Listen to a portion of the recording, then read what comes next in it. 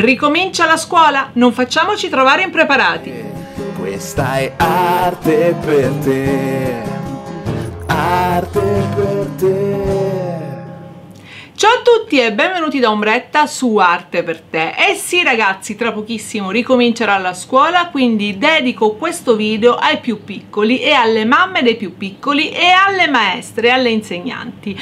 È un video mm, è un video all'interno del quale vi do alcuni suggerimenti per il materiale didattico artistico per i vostri figli, perché è importante che anche nell'esplicazione dell'arte immagine loro siano in sicurezza sicurezza, che abbiano degli strumenti performanti e che abbiano degli strumenti che non facciano impazzire né loro né noi. E adesso scopriremo il perché. sono certa che vi darò tanti suggerimenti interessanti che ho estrapolato un po' dalla mia professione nell'arte, ma un po' anche dalla mia professione come mamma. Evitate le matite con gommino finale perché il gommino molto spesso serve A da gioco per i bambini, B da pericoloso piccolo tools che possono staccare coi denti e ingoiarlo 3 da piccola caramella che i bambini molto spesso masticano durante le lezioni. Prediligete invece le matite con eh, chiusura della mina, ok, con laccatura finale, una normalissima matita.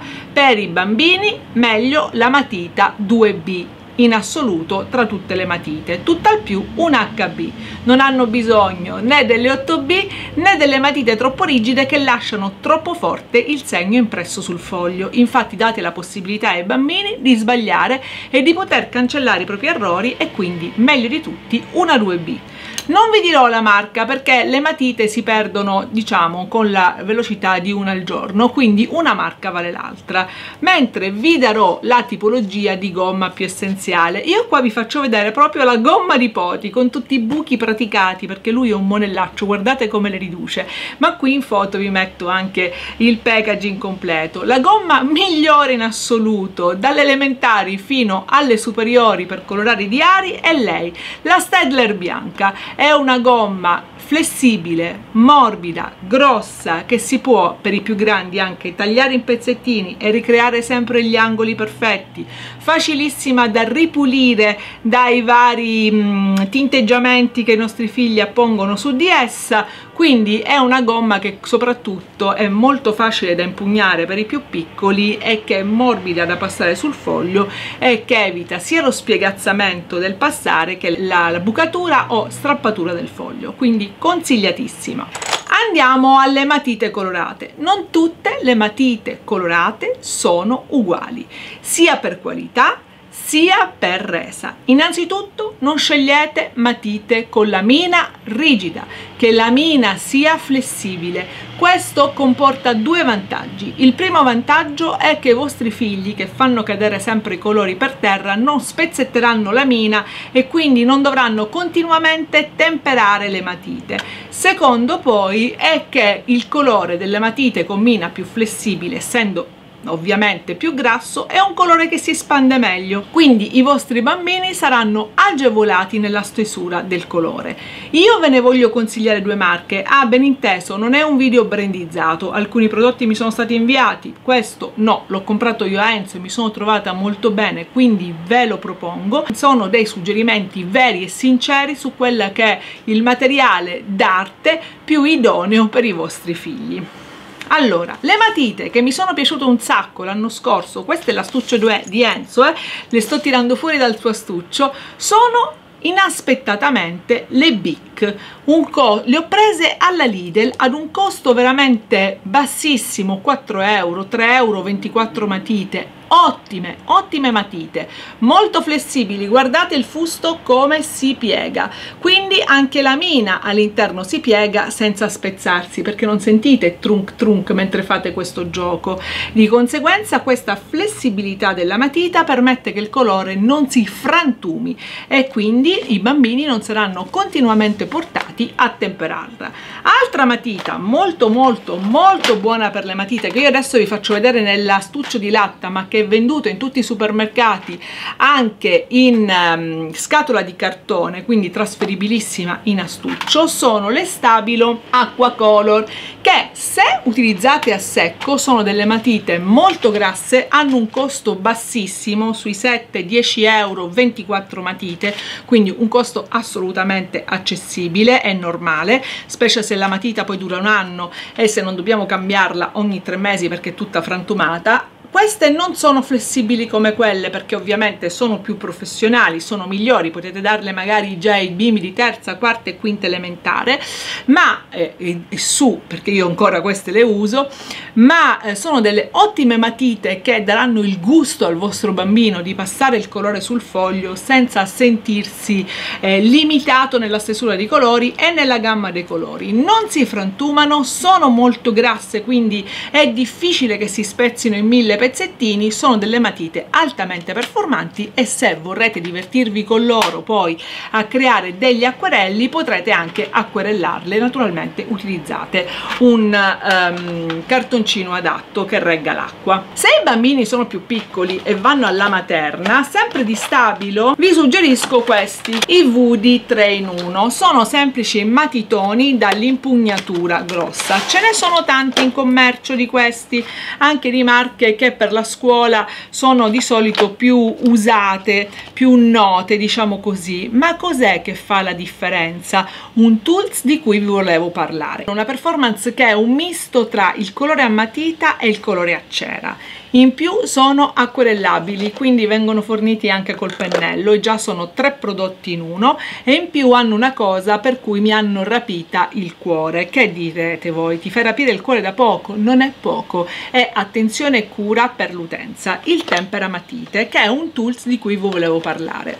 Nell'astuccio dei vostri figli mettete solo ed esclusivamente il tempera matite a buco piccolo possibilmente un temperamatite chiuso come questo, possibilmente solo il foro piccolo perché i fori grandi sono pericolosissimi perché i bambini hanno il brutto vizio di infilare il dito e girarlo come sto facendo io adesso.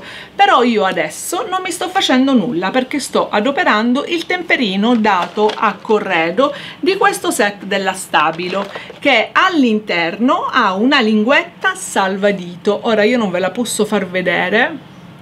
Non so se riesco vedete? Che anche se il nostro piccolino infila il dito e comincia a fare così non eh, arriverà con la pelle alla lama ma sarà sempre un gradino più sotto e quindi il dito sarà protetto. Badate a queste piccolezze perché sono quelle piccolezze che non vi fanno correre al pronto soccorso in preda al panico.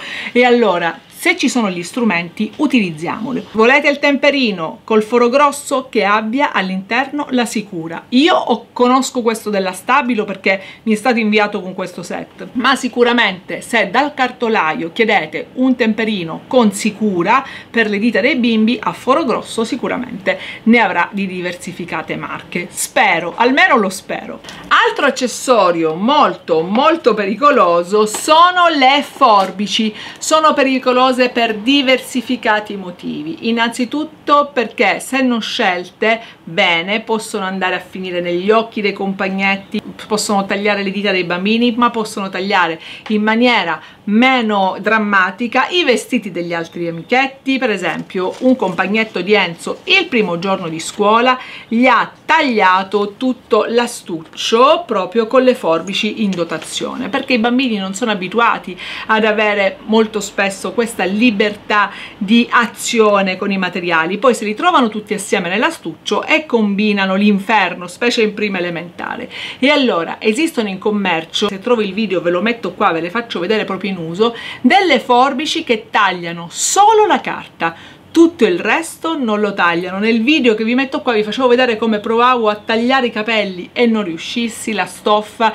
le dita non tagliano null'altro che la carta. Cercate questo tipo di forbice. Ma credo anche in questo caso che ci siano differenti marche di questo tipo di forbice. Vi lascio comunque di tutti i materiali di cui vi sto parlando il link qua sotto in modo che possiate trovarlo se vi serve in maniera molto agevole. Quindi attenzione alle forbici non mettete assolutamente le forbici per adulti adulti ma anche tra le forbici per bambini sceglietene un tipo che siano funzionali allo scopo ma che non siano assolutamente pericolosi passiamo adesso alla parte dolente dell'astuccio i pennarelli, i fantastici pennarelli. Enzo devo dire non è attratto dai pennarelli e soprattutto questi che erano in dotazione con l'astuccio non li ha mai utilizzati perché avendo me come mamma capite bene che quando è a casa gli do tutt'altro e gli do tutt'altro perché? perché ne ho di meglio un pennarello con cui mi sono trovata estremamente estremamente bene come potete vedere usatissimo è questo anch'esso della Stabilo anch'esso mi è stato inviato dall'azienda ma non ve ne sto parlando per questo questo davvero credetemi ma perché sono dei pennarelli fenomenali. Si chiamano i power e sono 24 pennarelli ma ci sono in differenti mh, mm, pezzature. Ma la cosa fantastica di questi pennarelli vi faccio vedere innanzitutto è la punta la punta è così non è quella punta piccolissima del pennarello però finisce molto a punta quindi può dare un tratto se di sbiego più grande il bambino si può anche sbrigare a colorare e non si spazientisce. Per i più grandi però dà anche un tratto bello definito. La cosa fantastica è che questo pennarello viene via con l'acqua quindi se è macchia tappezzeria del divano vestiti eh, grembiule questo fate una lavata e va via tutto ma la cosa cosa fenomenale di questo pennarello è che sapete come fanno i bambini che colorano e li lasciano sempre aperti? E l'indomani e magari noi non ripassiamo subito a chiudere i tappi e l'indomani il colore è bello che è andato. Questo è uno dei pochi pennarelli forse io questo solo mh, mm, ho conosciuto che sta fino ad 8 settimane senza cappuccio senza essiccare. Di conseguenza capite bene che lo spreco perché io qui sto guardando molto allo spreco è veramente pochissimo. E sono dei pennarelli che funzionano molto molto bene sono molto molto buoni e sono consigliati d'arte per te sicuramente. Sicuramente ve li consiglio senza remora. Tutto il materiale che vi sto consigliando ve lo consiglio senza tema di smentita. Così come vi consiglio in maniera per me numero uno. sin dalla scuola materna, udite udite, sin dalla scuola materna, una nuova generazione di colori a cera, i colori a cera in penna. Io ho questi della Stedler, presi anche questi se non mi sbaglio alla Lidl eh, quindi comprati da me sono dei colori a cera inseriti in una penna in plastica. Perché ve li consiglio? Perché il bambino se lo usate alla materna si abitua sin da subito ad avere l'impugnatura corretta del colore e non un'impugnatura a pastello come sono di solito i pastelli a cera che molto spesso possono essere fuorvianti per i bambini. In più guardate si girano e in maniera automatica la punta del colore viene su. Quindi ne escono poca e possono colorare tranquillamente. E ne escono un'altra po' e possono colorare evitando così quello spreco immenso che tutti i bambini fanno con i colori a cera che nasce dallo spezzettare in centinaia di pezzettini colori a cera dal metterli nell'astuccio e dal farli sporcare l'uno con l'altro. Le cartine diventano sempre di quei colori sporchi improponibili che fa schifo proprio a toccarli. Adesso per i bambini più grandi sta che sanno gestirli il sano gusto del colore a cera classico non deve essere mai abbandonato. Ma per i bambini delle elementari che possono conservarli nell'astuccio così magari ci sono le maestre che i pennarelli a scuola non li fanno usare perché bucano i fogli se non, mm, non usati bene. E allora fare un comparto con i colori a matita ed un comparto con questi a cera è un'idea bellissima ma questi con la penna in supporto questa penna fa sì che in estate soprattutto perché io li ho provati durante le vacanze con il caldo a 40 gradi che c'è anche adesso come vedete dal mio liquefarmi dinanzi a voi eh, non si spezzino e non si pieghino tra le mani. Quindi un colore a cera molto intelligente che lascia il gusto della pienezza e della vividezza del colore a cera senza sporcare l'astuccio senza spezzarsi in micro pezzi senza avere avere nessun tipo di spreco. Sono bellissimi. Complimenti alla Stedler per questa idea. E questi li ho comprati io per Enzo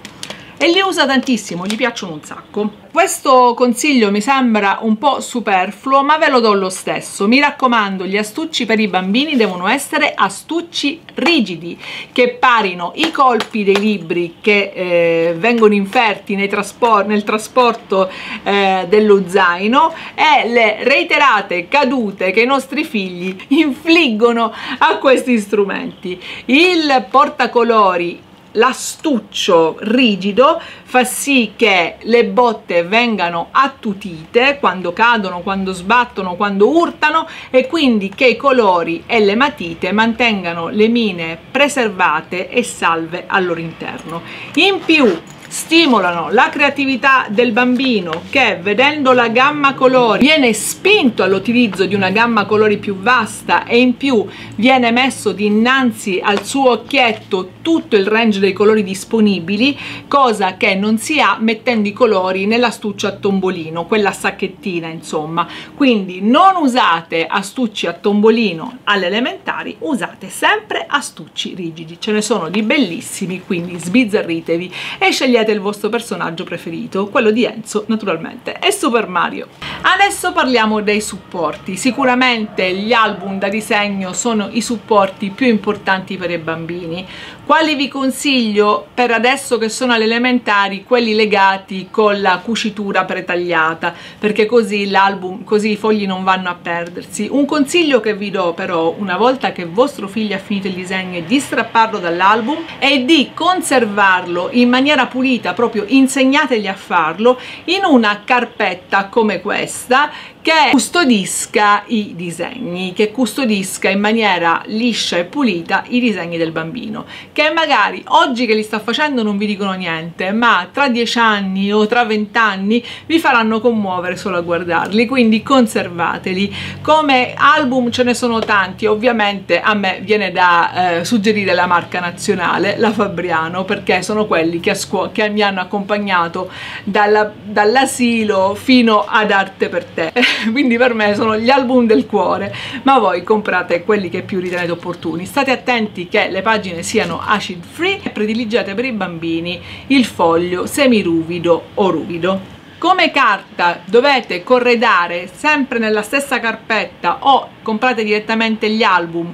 Un bell'album da collage perché il collage è una bellissima tecnica da fare con i bambini e se la vostra maestra non ci pensa proponetelo voi il collage come attività didattica perché sta andando perdendosi io per esempio nel primo anno di scuola di Enzo alle elementari non ne ho visto usare invece il collage è una bellissima tecnica e come con le stick io su tutte senza tema di smentita vi suggerisco la Prit in stick. Meglio nei dosatori piccoli perché anche lì i bambini fanno disastri. La colla è bene darla alle insegnanti. Io prego tutte le insegnanti di mettere il cartellino col nome del bambino e ritirare questi stick di colla e darli solamente al momento dell'utilizzo della colla perché la colla sebbene a base di amido sebbene oramai quasi sempre non nociva è sempre una di quelle cose che può impiastricciare sporcare veramente in maniera sostanziale tutti gli strumenti quindi è un qualcosa che va sempre utilizzata sotto il controllo stretto di un adulto. Vi consiglio i, eh, gli stick piccolini li vendono spesso da Lidl in set da 8 da 6 stick perché sono facilmente gestibili dalle manine dei bambini. Questo tutto quello che i vostri figli devono avere per sviluppare la creatività durante gli anni scolastici senza andare incontro a sprechi a pericoli mh, alla perdita del gusto di eh, creare e disegnare perché questo poi è lo scopo del mio video no? fornire degli strumenti validi che aiutino i vostri figli ad avere proprio il gusto il divertimento di disegnare questi gli strumenti che secondo me sono divertenti per i bambini e soprattutto tranquillizzanti per le mamme e per le insegnanti. Bene, buona scuola a tutti, divertitevi, che sia una scuola colorata, piena di arte e immagine, mi raccomando maestre, piena di arte e immagine e noi ci vediamo sempre qua per il prossimo video. Da Ombretta ed Arte per te è tutto, buona scuola, ciao!